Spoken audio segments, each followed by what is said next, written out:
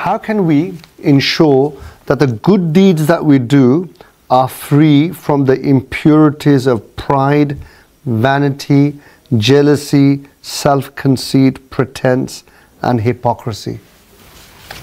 Alhamdulillah, uh, if a person is actually doing the, the in our course uh, of Tariqat Muhammadiyah, there is actually a whole system, uh, uh a, a, process in which sincerity is developed.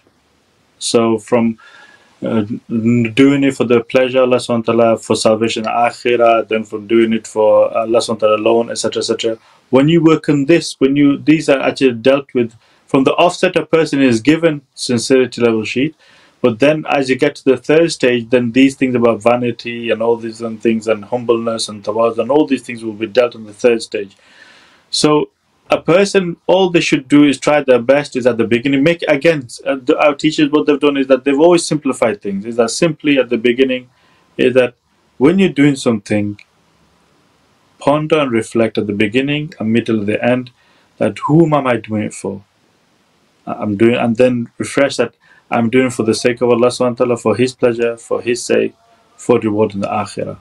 That is how a person simply at the first level that's how they actually go about and there are different levels and different uh, there are about uh, eight or ten different levels that you can do on this uh, sincerity sheet as well so if a person just starts with this this helps remove all these for example then you know that i'm not doing for myself okay that's it so, uh, secondly, with this question, how do I know I can be free? Well, if you do the sheet, then you'll actually easily go you go through that process. Secondly, is that you leave that matter to the teacher. You leave that matter to the mentor. Let them deal with it. You do whatever level you're assigned to. You carry that out.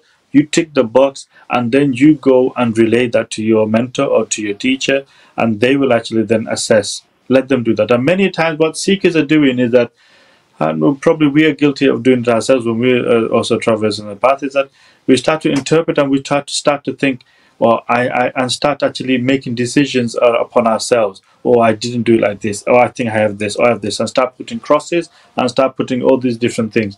Leave that.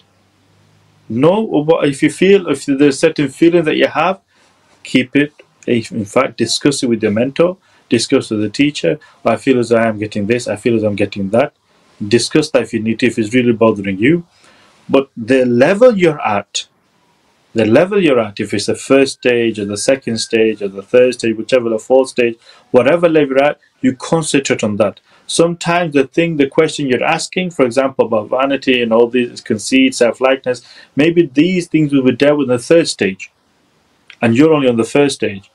So one should actually then concentrate on the level they're at and slowly, slowly progress because these will be like it's like a a, a furnacing process where bit by bit, unpeeling, you'll be unraveled and peeled and cleansed with each stage as you go through.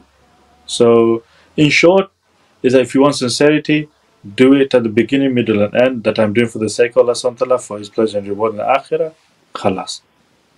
That will, that will be this. This is a, you've you've rectified it at the beginning, the middle, at the end. You try to put it, do it all the way through and remind yourself, Alhamdulillah, that's it. Uh, you can only be held accountable for that.